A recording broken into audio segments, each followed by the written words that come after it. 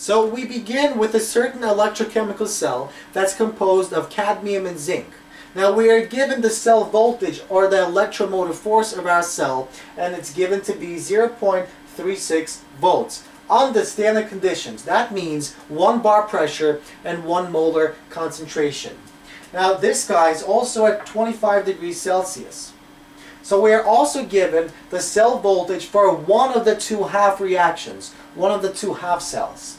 And the zinc half reaction is given negative 0.76 volts. We want to find, our goal is to find the cell voltage for the other half cell, for the other half reaction. So, in the first step, we begin our problem by writing the redox reaction for the entire equation, for the entire process. So, Solid zinc reacts with cadmium ion to produce aqueous zinc and solid cadmium. So let's figure out which one is oxidized and which one is reduced. This will help us place the metal that belongs to the anode and the metal that belongs to the cathode. So, zinc solid goes from a neutral charge to a plus 2 charge. That means it loses electrons, so that means it is oxidized. It's a reducing agent. Now this guy, cadmium ion, goes from an ion to a neutral charge. And that means this guy is reduced, so it's the oxidizing agent. It gains those electrons that are released by this zinc solid metal.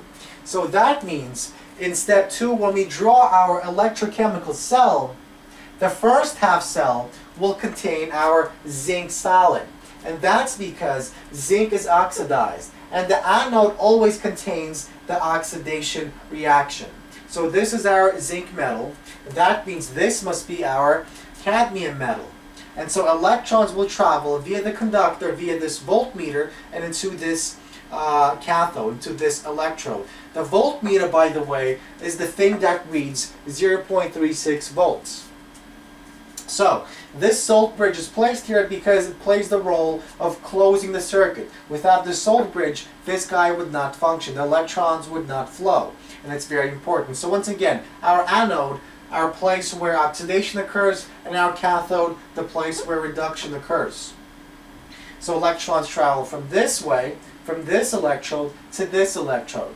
So when they leave this cell, this solid zinc releases electrons, right? Electrons begin to flow here. It also releases a zinc ion into this solution.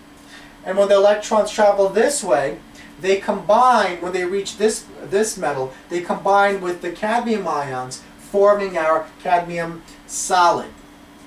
So, in the third step, we basically want to use this cell voltage formula to find our cell voltage for the cathode. Remember, now we know that this guy, this value of negative 0.76 represents the value for the anode. So we use this formula to solve for our cathode. So we know our 0.36 volts, which is told by the voltmeter.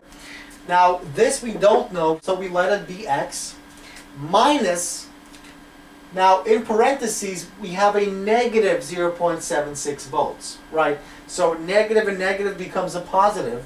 Then we subtract both sides by this guy and we get x to be 0.36 minus 0.76 volts gives us negative 0.4 volts. So this is our cell voltage for the cathode cell, for the cadmium, for the reduction reaction of cadmium.